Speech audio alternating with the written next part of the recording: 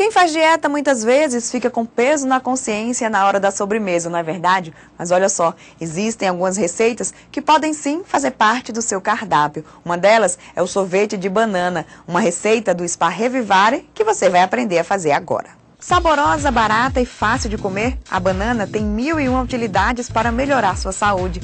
Ela é rica em vitaminas B1, B2, B6, B12, além de potássio, magnésio e ácido fólico. Os nutrientes ajudam o intestino a funcionar, melhora o humor, combate a ressaca, tem efeito anticancerígeno, reduz a pressão arterial, previne diabetes e problemas de colesterol. Uma banana tem em média 90 calorias.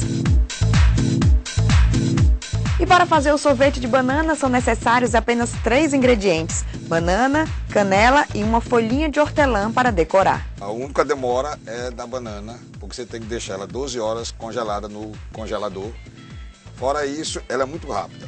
O preparo é muito simples. As bananas congeladas devem ser cortadas em rodelas. Depois é só bater no liquidificador com a canela até ficar numa consistência de creme. Em seguida, coloque o sorvete na taça, jogue um pouco de canela por cima e coloque a folha de hortelã. Sirva imediatamente. Só de olhar, dá para ficar com água na boca, não é?